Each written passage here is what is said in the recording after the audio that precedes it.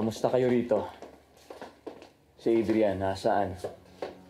Hindi ka ba binabalikan ni Lucas dito? Hindi pa bumabalik si Adrian mula kagabi. Malamang he's back to his old vices. Can't blame him.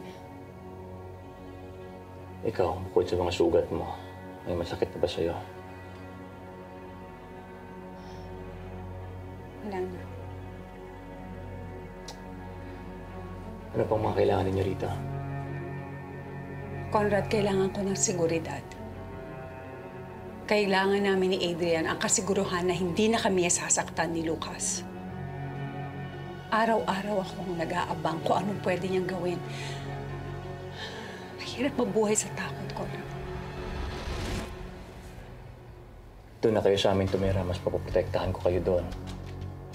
At kapag nalaman ni Lucas, iisipin pa niya na meron tayong relasyon hanggang ngayon. Isa pa, nakakahiya sa mga anak mo. Hindi dapat sila nadadamay sa mga gulo natin. Huwag ka mag-alala, iingatan ko kayo. Walang mananalo sa komisyoner ng salbasyon. Hindi si Lucas.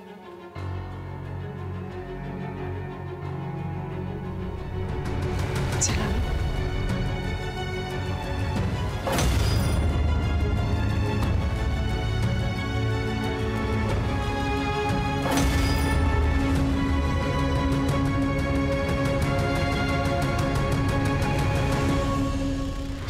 Simula ngayong lunes, Gusto kitang pasalamatan. Kaya mo bang isuko ang sarili mo sa mga polis? ano ang mas gusto mong matanggap? Katahimikan? Pag dumating ba yung araw na matalo natin ang mga narsiso, maaawa ka pa rin sa kanya. Kalayaan? Niloko siya, inabuso. I forgot, wala pala akong binubuhay sa mga nag-traitor sa akin! Kahit kailan! O gaan nararamdaman?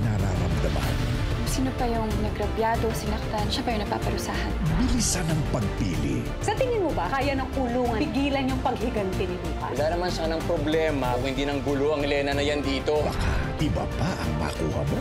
Watch over Lena. She's my only daughter. Makadelikado ang buhay niya ngayon. La Vida Lena. Kapag na-miss mo, pwedeng balikan. Pwedeng panoorin ang videos at playlists na gusto mo.